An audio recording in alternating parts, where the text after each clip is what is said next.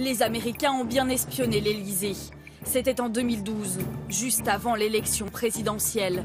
Et c'est un ancien chef des renseignements français qui le confirme. Une révélation inédite faite face caméra devant les étudiants d'une école d'ingénieurs. Ce qu'il va leur raconter se passe juste après l'élection de François Hollande. Euh, J'ai reçu l'ordre d'aller euh, voir mes amis américains pour les engueuler.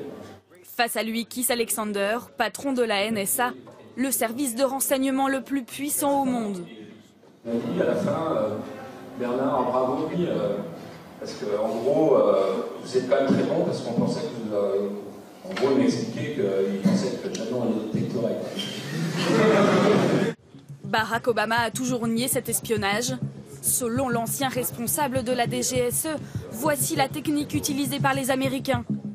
Tout d'abord, ils identifient les proches collaborateurs de Nicolas Sarkozy sur le réseau social Facebook puis se créent une fausse identité pour entrer en contact électroniquement avec les conseillers du président.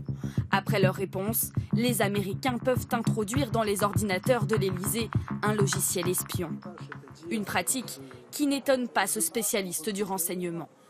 On n'est pas censé s'espionner entre alliés parce que euh, c'est une espèce de déloyauté à la qualité de la relation qu'on peut entretenir, d'amitié, d'échange, de confiance. Par... Dans la réalité Dans la réalité, évidemment, on, on s'espionne tout le temps. Lorsqu'il est question euh, d'économie, lorsqu'il est question de commerce, euh, c'est chacun pour soi.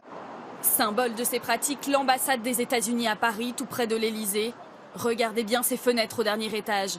En réalité, c'est un trompe-l'œil elles servent à cacher les services d'écoute de la NSA.